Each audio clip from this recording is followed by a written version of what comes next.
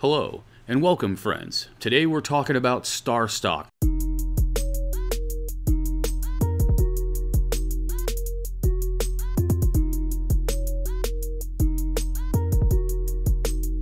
This is a site that I introduced to you with my three smart new ways to buy a sports card videos a little while ago. It's quite popular among YouTube sports card guys, and a lot of them are using it to great success. Part of my job as a professional poker player was to notice patterns, and when I see these patterns pop up with Star Stock, it's kind of got me a little bit worried. Now, full disclosure, I do better if Star Stock does better. I do flip cards, a lot of you do. I use COMC, I use eBay, I buy, I sell. I'm constantly in the market making moves. If we have have a site like StarStock that is providing this opportunity to buy and sell instantly these physical sports cards, I will benefit from that. So I'm not in any way saying anything in this video to just piss all over StarStock or tell you don't use StarStock. I just have some concerns about the site in general and a few things that are eh, less than optimal, let's say. StarStock claims to have rookie cards only on the site. That way, the customer can come to the site and know that they're getting a rookie card. The problem with that is that there are non rookie cards floating around the site.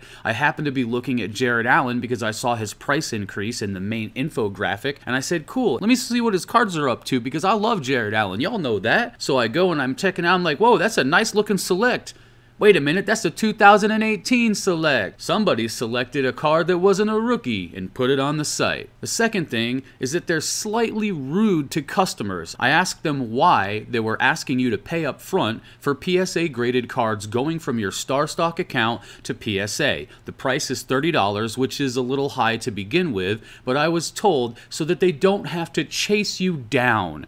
You have to pay for your grade up front that you're not going to see the card for nine months. I mean, that's a pregnancy, man. Perhaps you should give birth to a better experience for users. Why would I have to pay you up front for that card to be sent to PSA. It just doesn't make sense to me that you would have to chase around your customers looking for payment because if I'm paying you $30 to get a card graded, you can be damn sure that I'm going to be the one chasing you around to get that card back. It's just not a good look. It's not a good way to talk to customers. It sounds condescending. You're not the sports card mafia because I don't want to have to chase you down to get that payment. Chase me down. I'm paying you 50% over market you could do a little work on your end. Not only that, but they have this weird sort of theoretical grading system of A, B, and C and a lot of the A prices are commanding more than your base eBay card. Now, that is probably warranted because on eBay, some of them can be graded at a PSA 10 and some of them look like PSA 1s. The guys at StarStock aren't professional graders, and more so, they do not guarantee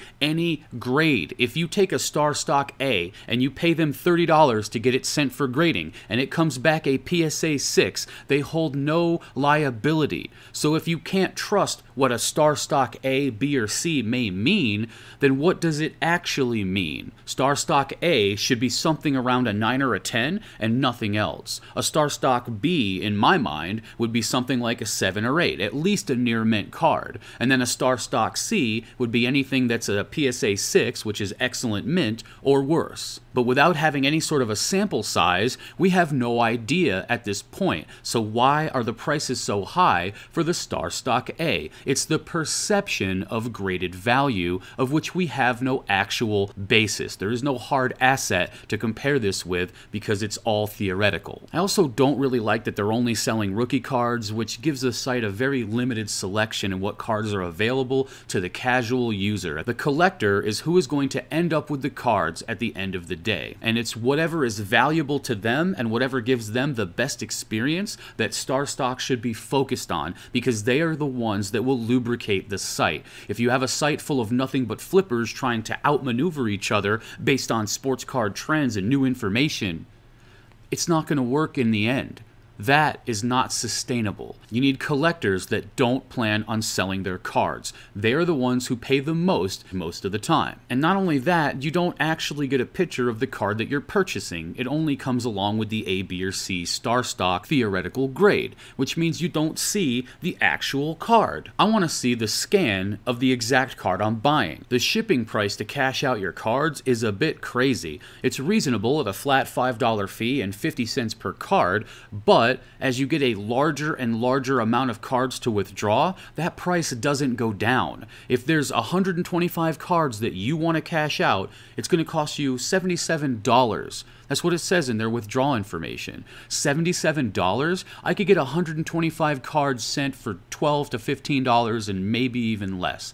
Now, I talked to Brendan from StarStock and I asked him about it. I said, hey man, is it really going to take this long for me to get my cards? Why is the shipping price so high? When I asked about the price to ship cards home along with the wait time to see if it was accurate, this is the response I got from Brendan at StarStock. Hey Chris, thank you for reaching out and we really appreciate your support. If you wanted only two cards shipped home, it would not take us eight weeks, it would probably take us closer to three or four weeks. In regards to our pay scale for shipping cards home, I get where you're coming from, but with that being said, it will take one person an entire day to pull 125 cards while not working on any other orders, which is why our pricing format is the way that it is. We really appreciate your support, Chris. If you have any other question,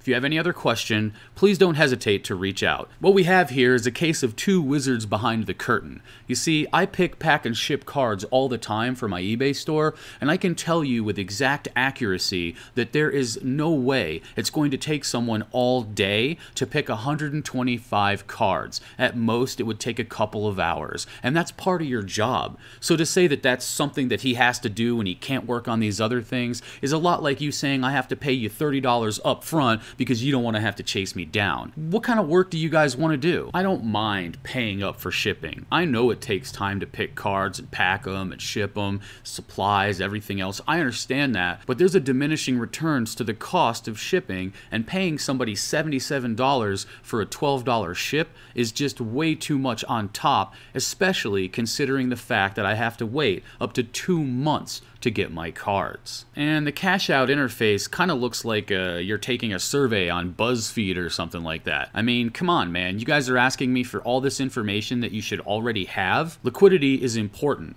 to be able to get access to the cards physically is going to be an important feature for collectors, the people who will lubricate this site so that the flippers can flip. We need the collectors to collect. And if the collector knows that he has to wait two months and pay all this money to get a card, he's going to be less likely to use the site. And there's another big problem that I see with only taking rookie cards. And that, my friends, is market saturation. You're already starting to see it. You see a rookie card, it'll be a Prizm and there'll be like 75 or 80 of them.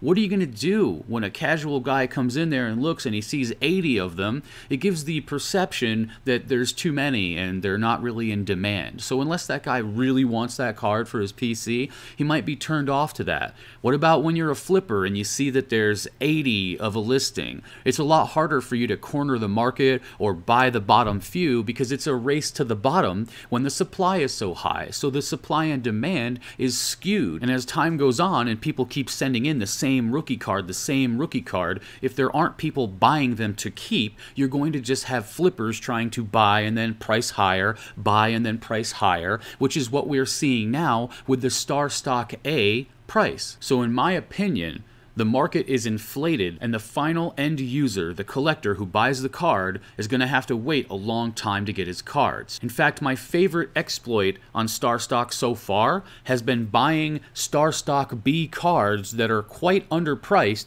versus eBay.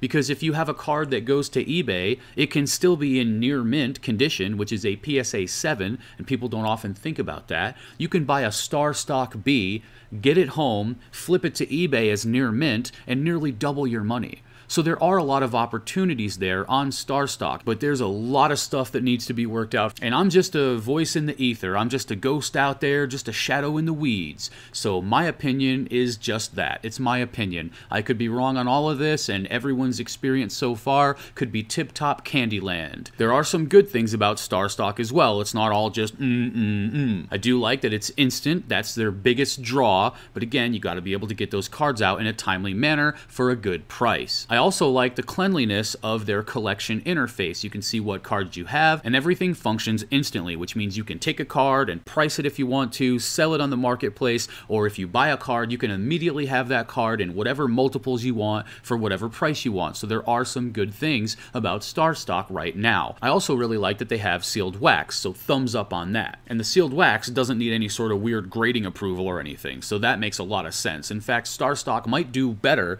with sealed wax than they do with individual cards as time goes on. I also like the CEO of StarStock. Scott sounds like a really cool guy. He's been open and engaging when you've seen him in interviews, and that is going to be an asset for StarStock going forward. So I hope that you guys don't take this as a bash, bash, bash. I really want StarStock to succeed. I'd like to see more formats like this, so I would urge you to give StarStock a try. After everything I've said in this video, it's still a new format, it's still being worked on, and I do believe that there's a lot of potential there. And perhaps the issues that I have are either misplaced or they'll be addressed in time. Either way, you should make your best decision about StarStock. Check it out, see if you like it, and that's the best tip that I can give you as somebody who wants you to succeed, whether you're just collecting or you're buying or selling sports cards and that's your goal. At the end of the day, your research is what matters. I can come on here and tell you what I'm buying and what you might make money with. Somebody else can give you their opinion as well. It's your decision, it's your money. You live with the consequences, and you would rather own those consequences than have somebody else affect them. So you can't get upset that, hey, this guy told me to do this and it didn't work. You made the decision, so you are the one that screwed up if you did this. So I want you guys to just be very clear. One of the best things that you can do for yourself as a sports card investor is to own your decisions, whether it's life, whether it's poker, whatever it is. You own your decisions. What you do ripples through eternity. When I'm considering an investment, I like to model out likely scenarios. These things happen, what's likely to happen? If these things happen, what's likely to happen? If this continues on this path, these are the likely outcomes, and just model it out. Even if you have to draw it up, it can give you some clarity as to what might happen, and you can assess what's more likely or what's less likely and really hone your decision making process. We've been having a lot of fun doing card breaks on the channel, so if you haven't gotten in with us yet, maybe consider doing so. Smack that subscribe button in the face for me and click like so that YouTube knows you should probably watch this video. And I appreciate you guys listening to my Star Stock review without any sort of prejudice or judgment against me. I've got no pitchfork here. I just want things to be better for the user. For the user. I still can't believe you, you called it a pregnancy, man. What are you doing? I'll catch you in nine months on the flip side.